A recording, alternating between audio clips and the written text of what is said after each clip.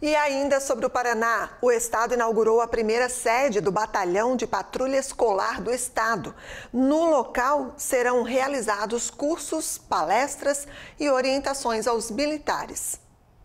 Com mais de 4 mil metros quadrados, o novo prédio, localizado em Curitiba, recebeu um investimento de 27 milhões de reais para que o Batalhão de Patrulha Escolar tenha uma sede própria capacitando policiais para oferecer mais segurança aos estudantes de todo o estado. Primeiro que é um bom programa, um programa fantástico que tem uma aprovação muito grande da população e ele tem uma, uma importância porque ele protege e cuida daquilo que é mais sagrado para as famílias paranaenses, que são os nossos filhos. Então nós é, tinha um espaço que era é um espaço pequeno, né, sem uma estrutura à altura do tamanho do projeto e da importância do projeto. Então nós resolvemos fazer um grande investimento aqui.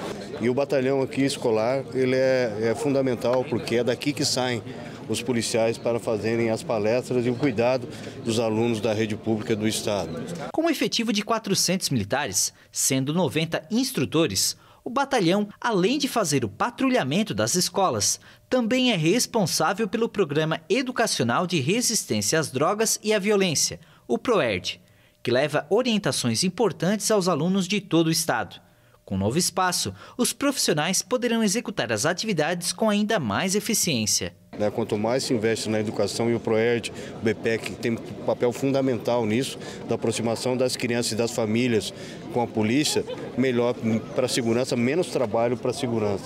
Vamos trazer professores, vamos trazer diretores, vamos trazer o pessoal do, do núcleo, vamos trazer alunos, nós vamos é, aqui poder fazer o PROERD, o curso do PROERD, que é a formação dos instrutores PROERD, poder fazermos aqui, porque a gente sempre tem que ir atrás de hotel, de um lugar que tivesse sala de aula, que tivesse salão, que tivesse sala de recursos.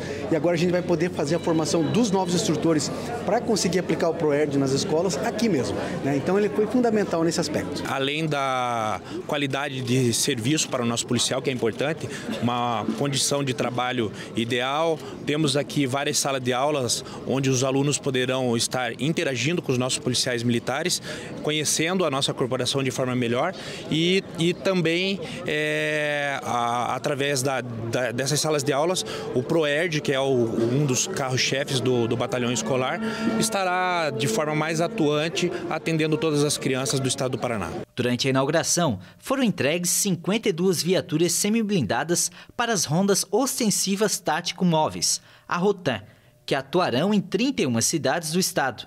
Ao todo foram investidos 16 milhões de reais na compra dos veículos. Essas 52 viaturas semi-blindadas que nós estamos entregando hoje para a Polícia Militar, uma compra feita pela Secretaria de Segurança Pública do Paraná, 16 milhões de investimentos e faz parte do nosso planejamento de modernização é, das estruturas da nossa Polícia Militar, não só para a Polícia Militar, mas também para as demais polícias, mas em especial hoje a nossa Polícia Militar.